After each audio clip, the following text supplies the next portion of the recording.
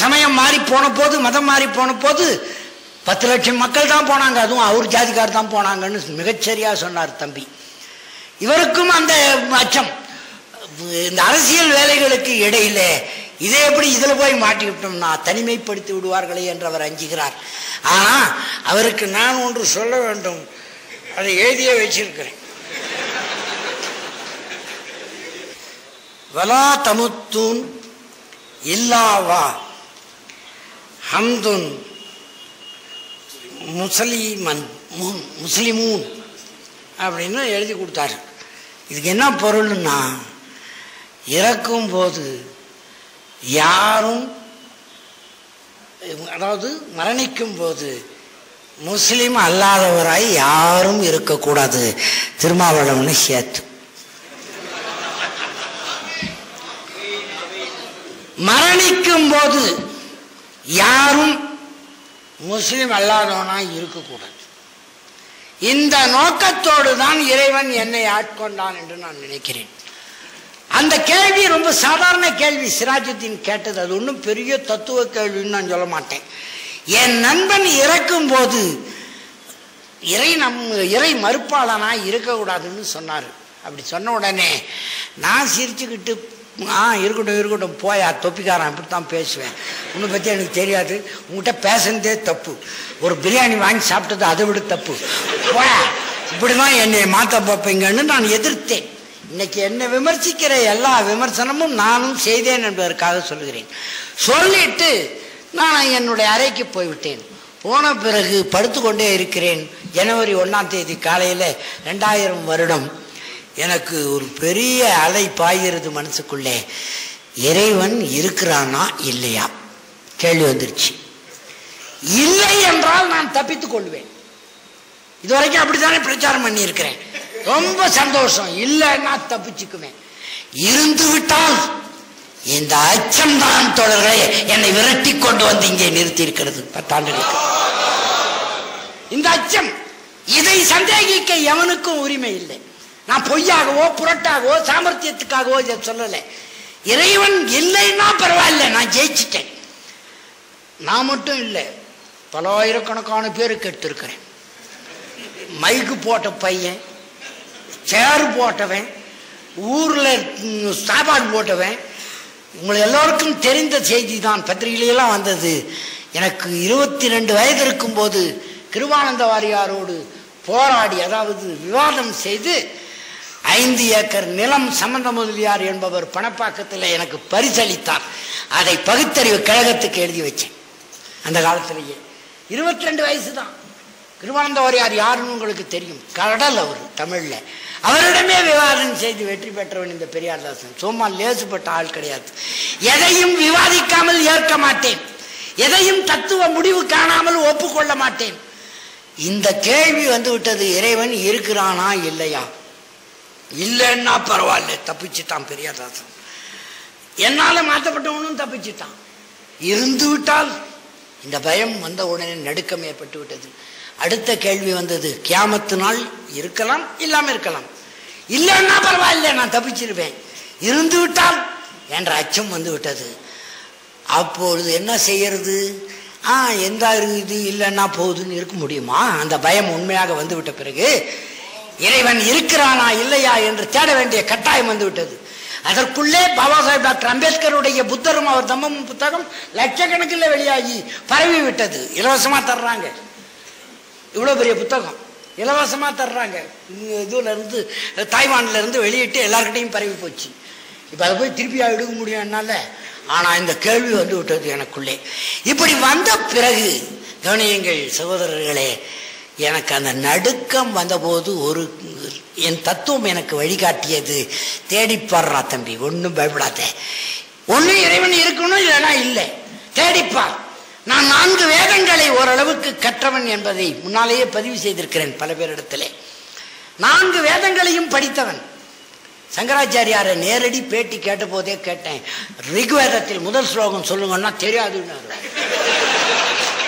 யஜுர்வேதத்தில் மூன்றாவது ஸ்லோகம் சொல்லுன்னா தெரியாதுன்னாரு. பத்திரிகையிலேயே வந்தது குமுதம் பத்திரிகையில் அவர் அவர் உட்கார்ந்துகிட்டு இருப்பாரு. நான் கால் இப்படி நீட்டிக்கிட்டு பேட்டி கொடுத்தேன். வேணும்னு. அப்போ சொன்னாங்க பல பேர் அது பண்ணிடுவாங்க இது பண்ணிடுவாங்க. என்ன இது வரைக்கும் ஒன்றும் பண்ணலை. அவர் என் காலத்துக்கு அவர் மேலே காட்டிக்கிட்டே பேட்டி கொடுத்தேன். காரணம் என்னன்னா அந்த தைரியம் இந்த பிரியாதாசனுக்கு இந்த அப்துல்லாவுக்கு எப்பவுமே உண்டு. நான் தவறு செய்ய மாட்டேன். தம்பிக்கு நல்லா தெரியும். இவர்கிட்ட ஏதாவது உதவி என்று என்னைக்காவது போயிருப்பேன் நான் கேளுங்க. நட்பு பாராட்டுவேன். அது செய்யுங்க இது செய்யுங்க என்றைக்கும் கேட்டதில்லை.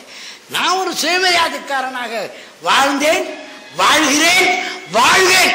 அதில் எனக்கு எந்த சந்தேகமும் இல்லை. யாரிடமும் போய் கையேந்த மாட்டேன். அந்த கேள்வி வந்த உடனே தேடி பார்த்தேன். அந்த சங்கராச்சாரியார் கேட்டபோது தெரியல தெரியலன்னாரு ஆரண்யகங்கள் தெரியுமான்னு கேட்டேன். உபநிஷத்துங்கள் மொத்தம் எத்தனை நம்பர் மட்டும் சொல்லுன்னு. தெரியலன்னாரு அதுவும் தெரியலன்னார் சரி துவாதச மஞ்சரிக்கான்னு சங்கராச்சாரியார் ஆதிசங்கரர் எழுதின புத்தகம் தெரியுமான்னு கேட்டேன். தெரியாதுன்னாரு.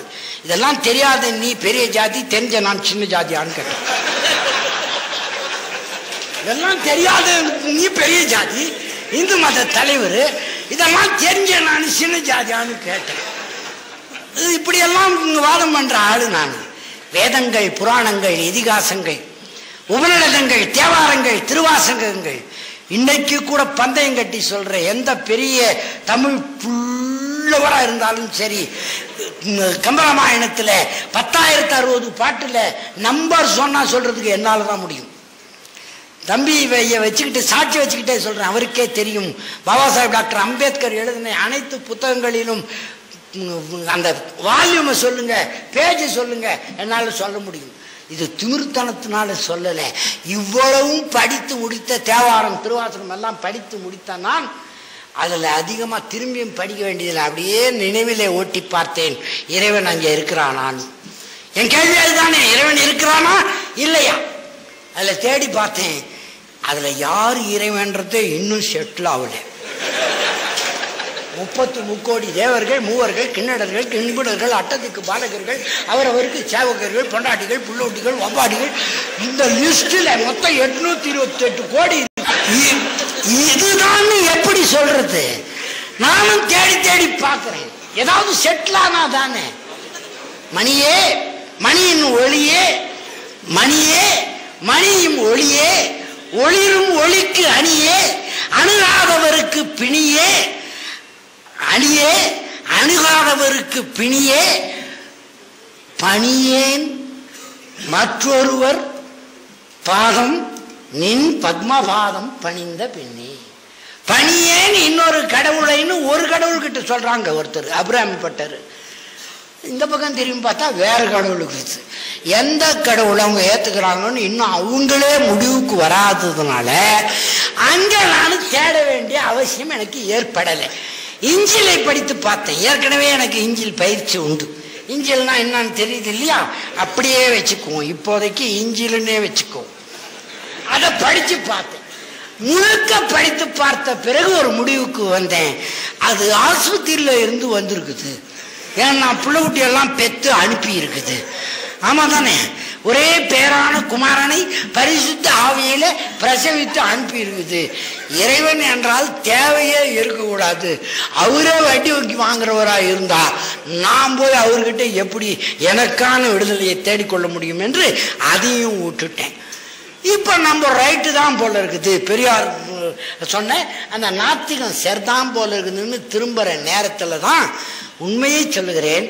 ஒரு ரயிலில் போய்கிட்டு இருக்கிறேன் வேலூரில் இருந்து இப்போ காட்பாடியில் இருந்து சென்னைக்கு போய் கொண்டிருக்கிறேன் சென்ட்ரலுக்கு. அந்த ஒரு போர்டில் ஜமாலியா ஸ்கூல் பின்னால் பெரிய விளம்பரம் எழுதியிருந்தாங்க. திருக்குரான் நூற்றம்பது ரூபாய்க்கு ரெண்டு வால்யூம் தமிழ் விளக்க உரையுடன் அரபி மூலத்துடன் நல்ல விளக்கத்தோடு அருமையான மொழிபெயர்ப்பு வழங்கப்படுகிறதுன்னு எழுதியிருந்தாங்க. நூற்றம்பது ரூபாய்க்கு. இறங்கிட்டேன். பக்கத்து ஸ்டேஷனில். உண்மையில் ஜீவா ஸ்டேஷன்லேருந்து நடந்து வந்தேன் நினைவு இருக்கிறது எனக்கு. நடந்து வந்து அப்படி தட்டி தடுமாறி கேட்டு இஸ்லாமிக் ஃபவுண்டேஷன் ட்ரஸ்ட் எங்கே இருக்குதுன்னு தேடி போனால் அங்கே நாலஞ்சு பாய்ங்க இருந்தாங்க. அதில் ரொம்ப பெரிய பாய் கண்ணன் மூசான்ற ஒரு பெரிய பாய். சின்ன பாய் சிக்கந்தர்னு ஒரு இளைஞர் பாய். ரெண்டு பேரையும் பார்த்து இந்த மாதிரி திருக்குரான் வாங்க வந்தேன்னதும் பெரியாதாசனை எங்களுக்கு தெரியும் சும்மா எடுத்துன்னு போனாங்க. நூற்றம்பது ரூபா அந்த நூல் ரெண்டு வால்யூம். வலியுறுத்தி சொன்னேன். தயவு செய்து இந்த நூலை சும்மா கொடுக்காதீங்க எனக்கு. வேணும்னு தான் நான் வாங்க வந்திருக்கிறேன். ஒரு தேவைக்காக வாங்குறேன். காசு வாங்கிக்கோங்கன்னு வலியுறுத்தி கொடுத்துட்டு வாங்கிட்டு வந்தேன். வீட்டுக்கு கொண்டு போய் படிக்கல. நேராக எடுத்துக்கிட்டு போய் பைண்டர்கிட்ட கொடுத்தாங்க. பைண்ட் பண்ணி தான் அவங்களே கொடுத்துக்கிறாங்க. அதை திருப்பி பைண்டர்கிட்ட கொடுத்தேன். எதுக்குன்னு கேட்டார்? பிச்சு போடுன்னு. எல்லாத்தையும் பிச்சு போட்டு நடுவில் நடுவில் ஒரு பக்கம் இருந்தவருக்கு ஞாபகம் இருக்கும் என்று நினைக்கிறேன். நடுவில் நடுவில் ஒரு பக்கம் வைத்து பயன் செய்ய சொல்லி பேப்பர் வச்சு பயன் பண்ண சொல்லி திருக்குறானை ஒரு நாளைக்கு மூன்று மணி நேரத்திலிருந்து ஐந்து மணி நேரம் வரைக்கும் எழுத்து எழுத்தாய் படித்தேன். அந்த காலத்தில் அங்கே இருந்த செக்ரட்டரிக்கு ஃபோன் பண்ணி அல்லப்தியான் படிக்க வேண்டும் என்று கேட்டேன். அந்த புத்தகத்தையும் தந்து அனுப்புனாங்க. அதை கொஞ்சம் ஓதுவதற்கும் பயிற்சி எடுத்துக்கொண்டேன். ஓரளவுக்கு. அதில் பெரிய பாண்டித்யம் பெற வாய்ப்பு இல்லை. இனிமேல் தான் அத்திரத்து மனசு வச்சா அதை படிச்சுக்கணும்னு இருக்கிறேன். அவர்கிட்ட கேட்டு வச்சிருக்கிறேன். இப்போ அந்த முயற்சி எடுத்து படிக்க படிக்க படிக்க பிஸ்மில்லா எர் நிர்ரஹீம்